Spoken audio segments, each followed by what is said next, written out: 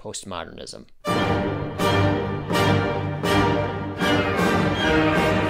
And now I have your attention. Over the last few years, postmodernism has become one of the modern right wing's most prominent talking points, one that's even been absorbed into some centrist circles. According to figures like Jordan Peterson and Stephen Hicks, postmodernism itself is no less than a reinvented, vaguely concealed form of Marxist ideology, and its spread within academia and culture represents part of a concerted effort, whether intentional or unintentional, to push the public towards radical leftism and stir up generational nihilism. There have been a lot of substantive critiques of this argument suggesting that Peterson, Hicks, and the like actively misinterpret postmodernist theory. But that brings up a problem. Postmodernism is not easy to define. It's a dense, contradictory set of tenets and theories that are equally applicable to art, academics, and sociology. Even the closest it gets to a central tenet is the idea that all ideology is fallible, even postmodernism itself. But that paradox is the point. This is an ideology about the collapse of meaning and it demonstrates that by collapsing its own meaning. So, what does any of this have to do with anime? Well, to put it simply, there's an active debate in the field of anime studies. Yes, that's a real thing. Please reserve your snickering body pillow jokes until the heat death of the known universe. As to whether anime itself is an inherently postmodernist art form. Anime's rise to popularity within Japan from the 50s through the 70s roughly coincides with the earliest days of postmodern theory as posited by writers like Jean-Francois Lyotard and Jacques Derrida, and many of its characteristic techniques, especially its self-referentiality, open influence from other art forms, and purposely artificial style, correspond to similar characteristics of postmodern art. In contrast, dissenting voices usually state that anime is just too broad to be inherently postmodern, and that one singular theory of sociology can't sufficiently cover something as wide reaching and diverse as an entire artistic medium. Even if that's true, though, any glance into the bodies of work of creators like Shinichiro Watanabe, Hideaki Anno, and Sayo Yamamoto can tell you that there's a lot of postmodernist anime out there. And then there's whatever the hell this is.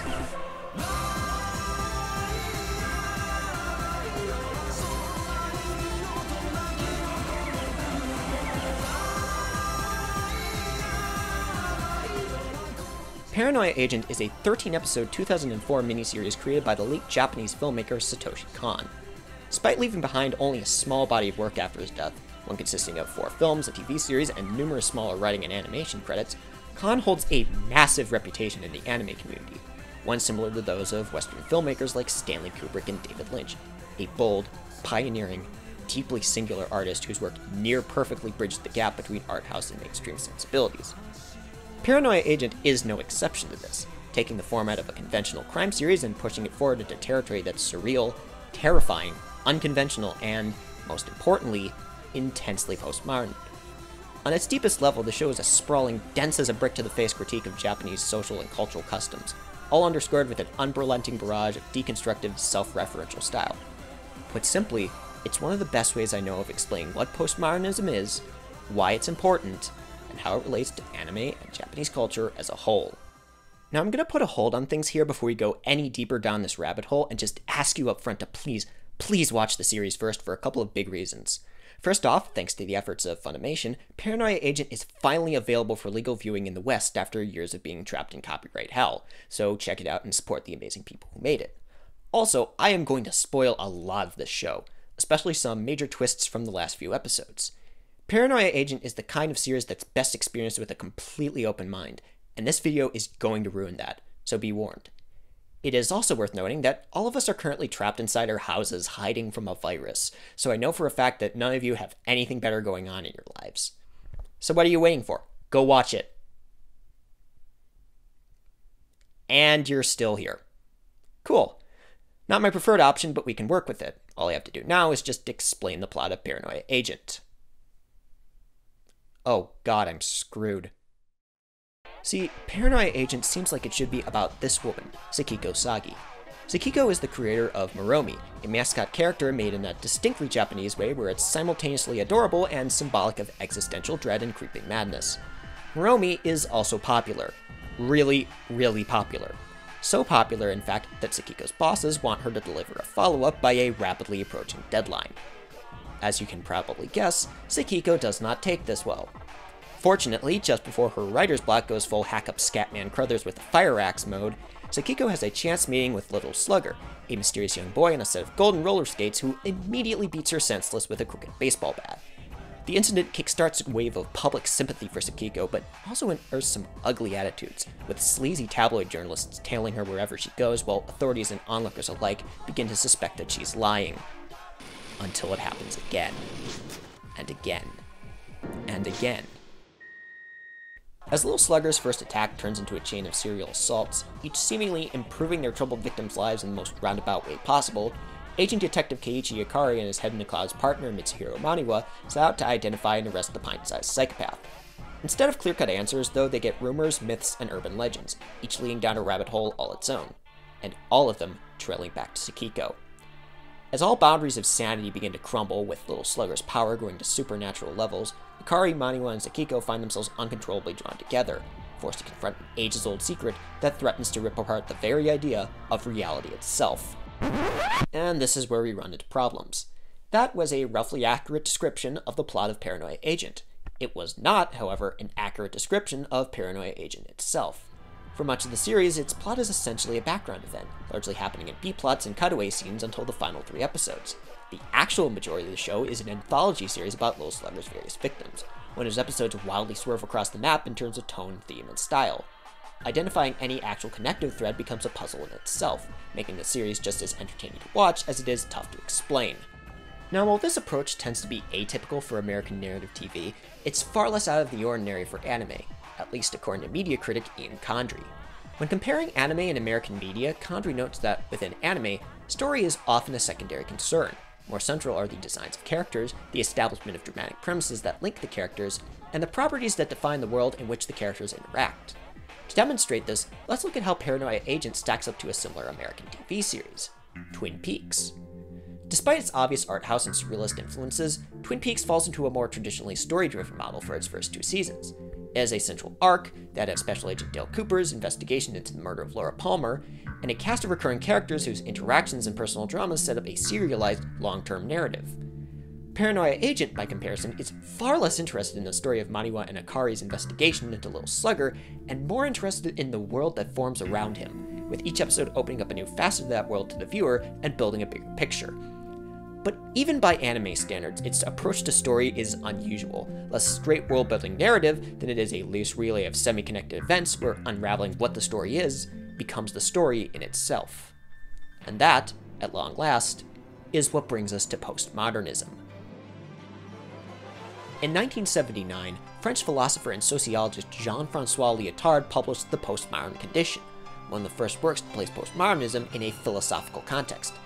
Lyotard and other writers like him had been growing increasingly concerned with the rapidly globalizing nature of the modern world, especially when it came to how that globalization would affect the flow of information.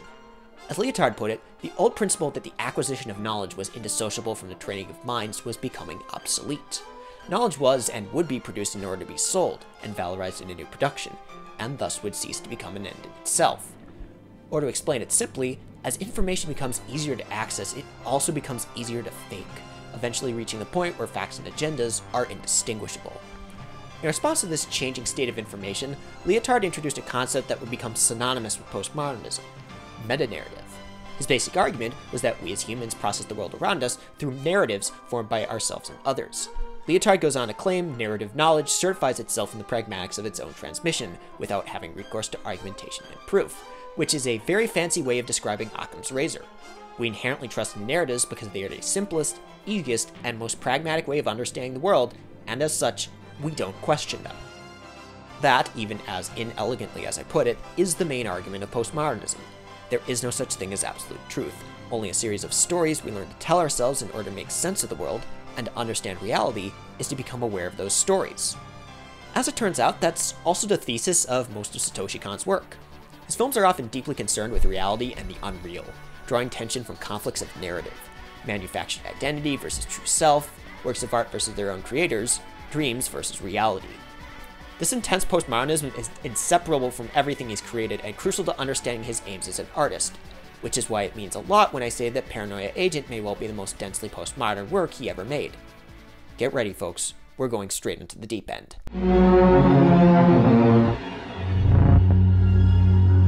I said earlier that Paranoia Agent spends over half its episodes as a loosely connected anthology series, but I never actually mentioned how it connects its episodes.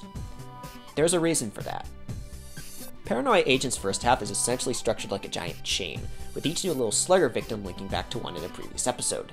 The two attacks in the show's pilot, for example, started nationwide panic that causes students at a Tokyo primary school to accuse Machiavellian classmate Yuichi Taira, protagonist of episode 2, of being a slugger. After his own run-in with the bat-wielding maniac, Yuichi seeks help from schizophrenic therapist Harumi Chono, and the focus shifts to her for episode 3. Episode 4 follows Masami Hirukawa, a dirty cop who cheats on his wife with Harumi's sex worker split personality, while episode 6 focuses on Hirukawa's daughter. As a result of this daisy chain structure, the show makes the viewer feel more directly involved in the story. We aren't so much watching a narrative unfold as we are piecing it together ourselves. This kind of storytelling draws heavily on the postmodernist filmmaking practice of hyperlink cinema, a concept coined by film critic Alissa Quart in a review of the 2005 indie film Happy Endings. Under Quart's definition, hyperlink films co opt the narrative language of the internet, presenting their stories in an intentionally disjointed manner. Instead of following events in a traditional linear order, we move between different links, forming a narrative by noticing the connections ourselves.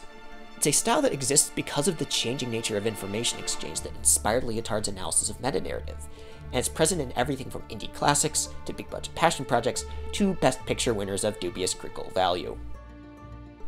And yet there's an issue with hyperlink cinema that often remains unexplored. It's still a conventional narrative. To be fair, it's a cleverly constructed conventional narrative that's very good at tricking you into thinking you're watching a non-narrative work. But even so, every element has still been placed to guide the viewer along a linear journey, just not in the normal order. Paranoia Agent seems to get this, and it's here that it makes its most significant change to the hyperlink cinema format. It removes the disorder, presenting events in a clear chronology and removing any illusion of nonlinear storytelling. The little slugger attacks are a narrative, and we're meant to see how it forms, to notice the ways people internalize it, develop their own theories, and use it to understand the nature of the world around them. We're supposed to see the flaws because we're supposed to see the narrative. If that hurts your brain, good. Welcome to level 2.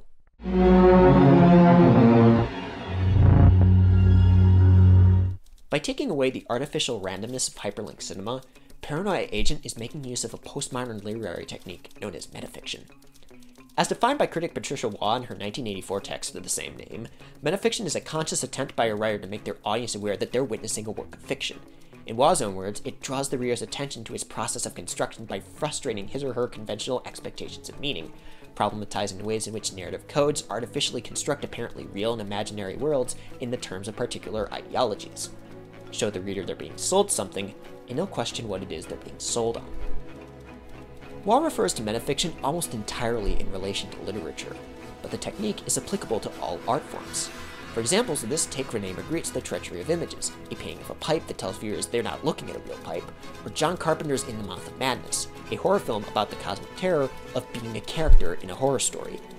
These works aren't surface level either, there's a clear artistic and ideological intent behind the ways in which they break the form, an intent that Paranoia Agent demonstrates most clearly in its 10th episode a story about anime itself. Mellow Maromi follows the crew of a Japanese animation studio as they struggle to finish a series based on Sakiko's creations on time, a task made harder by the fact that Lil Slugger is actively stalking and killing the members of the team one by one. This choice alone makes the episode a prime example of metafiction, but what pushes it closer to Waugh's definition is the way in which it uses its step back from the fourth wall to criticize the Japanese animation industry. Throughout the episode, the crew of Mellow Maromi face just as much of a threat from the people running their studio as they do from Little Slugger, with their superiors subjecting them to abusive overtime in order to meet deadlines while tuning out complaints of exhaustion, frustration, and actual literal murder.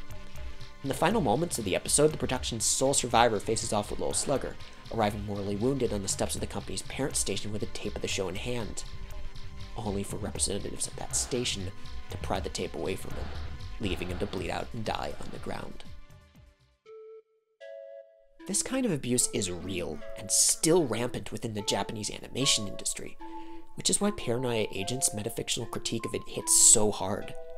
It's not just showing you how ugly and exploitative professional animation can be, it's telling you that the show you're watching could have been made using those same ugly and exploitative practices.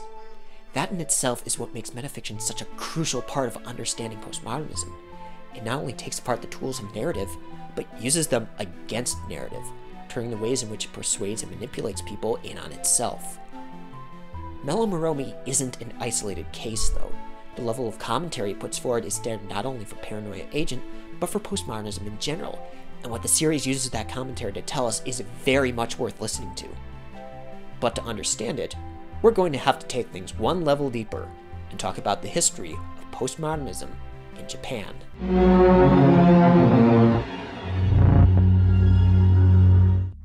2001, Takashi Murakami, Japanese postmodern artist and current holder of the title for least beloved film in the Criterion Collection, published the Superflat Manifesto, a breakdown of his thoughts on the history and theory of Japanese art.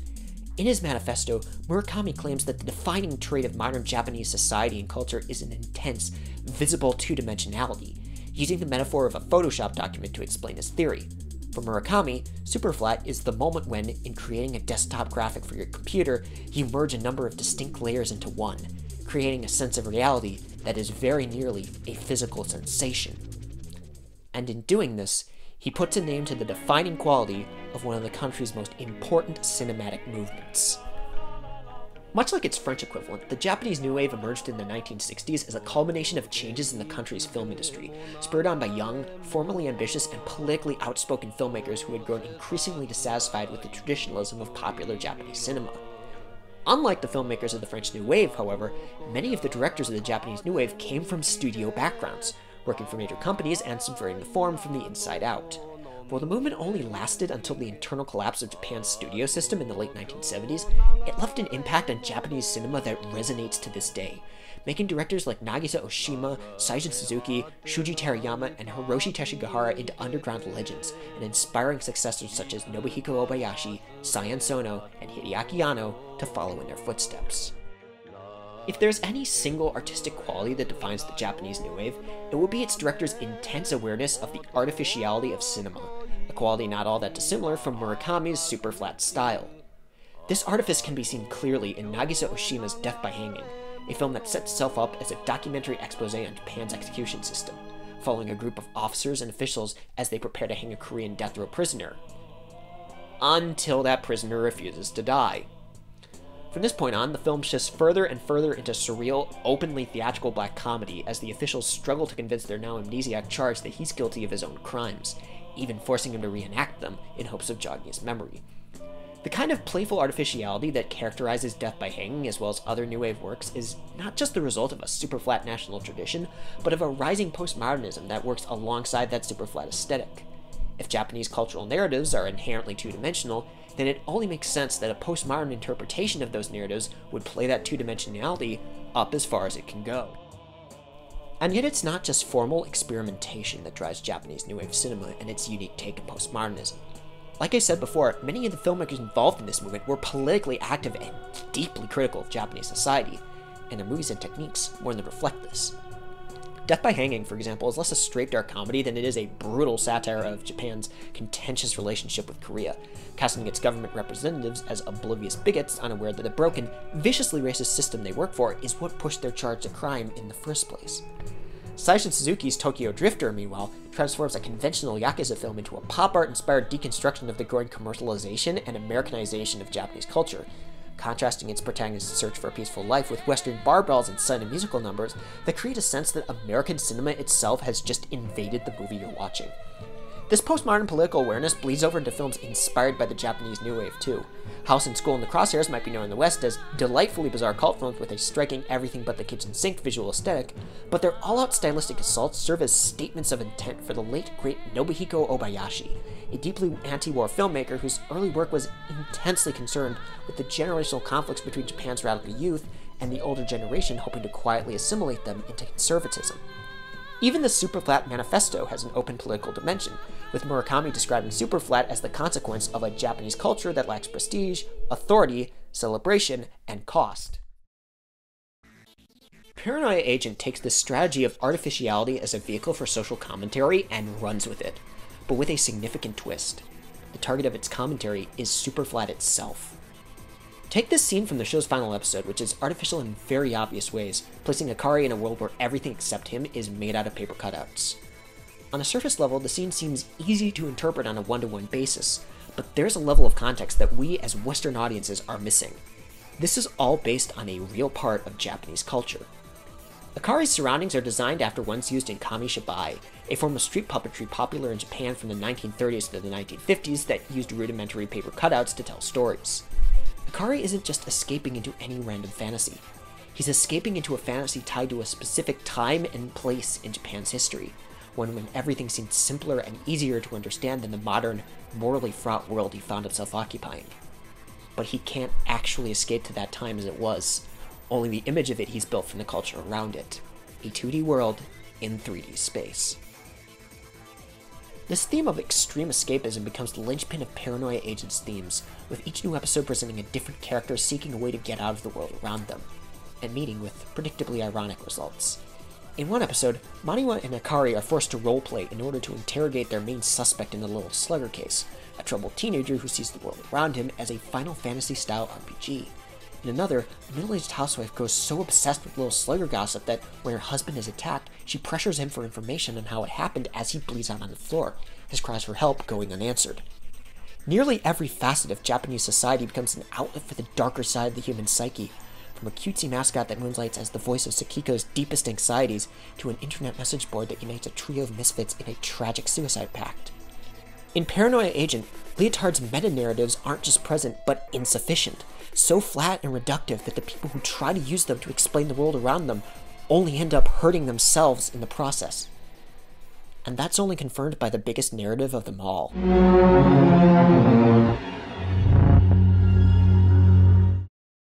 Before we go any further, I'm going to throw another spoiler warning in here, because we're about to talk about the show's biggest twist.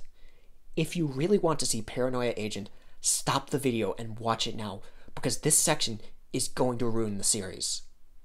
I'll give you five seconds to stop and make your choice, then we're going ahead. Alright, let's do this. In Paranoia Agent's last episode, the show finally explains who Little Slugger is, and, more importantly, who created him. When she was 12 years old, Sakiko Sagi was given her first pet, a dog named Maromi. A dog who died in a traffic accident when Sakiko lost track of him while having her first period. Fearing that her family would punish her for her mistake, Sakiko made up a story to explain the dog's death, claiming that Maromi had been beaten to death by a child on golden roller skates carrying a baseball bat. Little Slugger isn't real, at least not in the conventional sense. He's a narrative. Not only that, he's the most reductive, simplistic narrative possible, one that turns the story of a girl making an honest mistake with real consequences into an easy to comprehend tale of good and evil. And once he escapes from Sakiko's mind, he seeks out others like her, finding people lost in denial and searching for an easy way out a child who copes with being ostracized at school by inventing a conspiracy in which another student is sabotaging his life. An animation studio willing to justify any means in order to produce a hit. A psychiatrist who refuses to accept the fact that she herself faces the same issues she treats. A lonely, aging cop longing for a time when he understood the world around him. In his final moments, Paranoia Agent fully becomes Sakiko's story, as she confronts the little slugger and at last overcomes the trauma and guilt that's haunted her for the last few decades. But before that, it's a story about no less than narrative itself and the power it holds, particularly over Japan.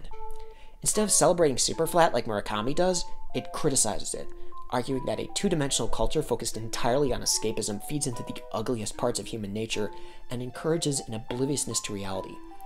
It states that there is no such thing as a binary world, that, as satisfying and easy as it might be, Finding simple solutions and obvious antagonists only serves to push us further and further into seeing a shallow, twisted version of the world around us, instead of accepting it in all its complexity and contradiction. There is no truth, only narrative. Paranoia Agent's final shot is a mirror of a shot in the first episode, one of an old man sketching out an enormous, impossible equation in chalk on a hot sidewalk. Some things have changed this time around. It's Maniwa now, white haired and completely mad, who's finishing the equation this time, but everything else, down to the staging and framing, is almost exactly identical, especially the writer's horrified reaction once he solves it. The narrative hasn't changed. It's all going to happen again.